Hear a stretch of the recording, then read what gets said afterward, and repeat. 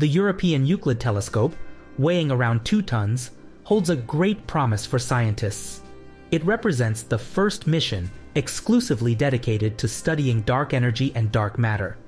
Are these terms unfamiliar to you? Don't worry, we'll explain everything in today's episode.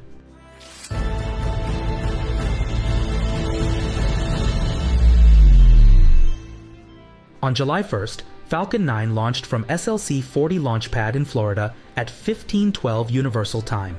The Euclid telescope carried the most significant scientific payload ever lifted by Falcon rockets.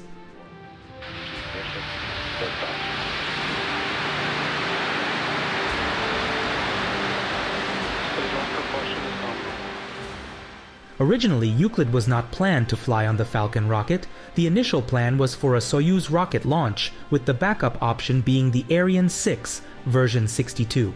However, due to the Russian invasion of Ukraine, the use of Russian rockets became impractical, and Ariane 6 is not yet ready.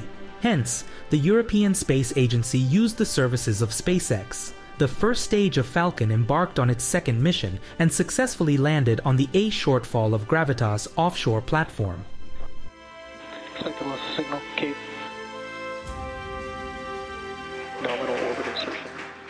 The second stage initially reached a parking orbit. 17 minutes after liftoff, the second burn significantly elongated the orbit.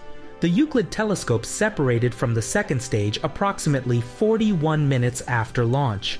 Ground control awaited the first signal from the telescope, which arrived a few minutes after separation, bringing relief to everyone at the Mission Control Center.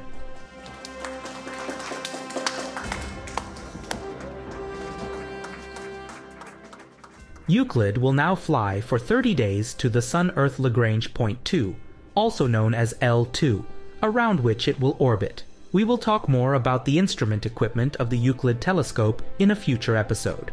What's important is that Euclid will be able to observe galaxies up to 10 billion light years away in one third of the sky. This will help scientists understand dark energy and dark matter, which make up the majority of the universe but cannot be directly observed. Euclid will study their influence and effects on surrounding galaxies. Thank you for watching another episode of Spaceflight News. If you use Twitter, you might be interested to know that our show has its own profile on this platform. Simply click the link in the video description.